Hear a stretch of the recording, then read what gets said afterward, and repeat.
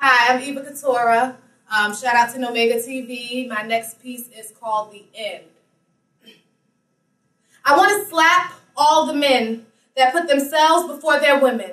And I want to drop kick all the ones that make but don't father their children. And to everyone that's always so willing to sex anyone they meet, I want to give them the people's elbow and knock out all their teeth. You see, I'm tired of this world the way it is and will always be. None of us expects a utopian society, but whatever happened to values and beliefs? Seems to me the only thing everyone does believe is the right to please themselves.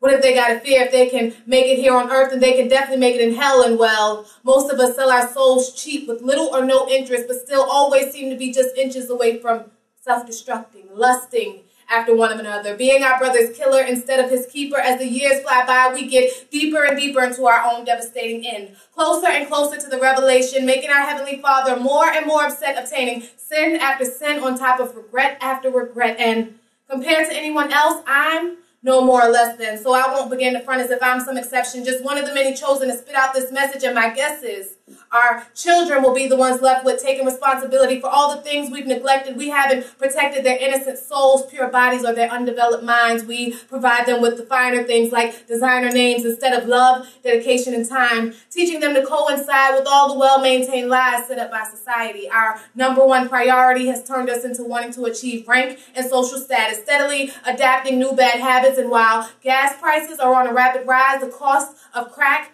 dies down to $3 a rock and rappers are rapping about sniffing coke and popping pills and calling it hip hop like it's not enough that we poison ourselves. We just gotta kill the future too, adhering to nothing but lies while quickly running from the truth. And there ain't no excuse for this evil world or its malicious people playing a lethal game in a war that we can't win. Ask me, what is this world coming to, Eva? And I'll tell you, it's coming to an end.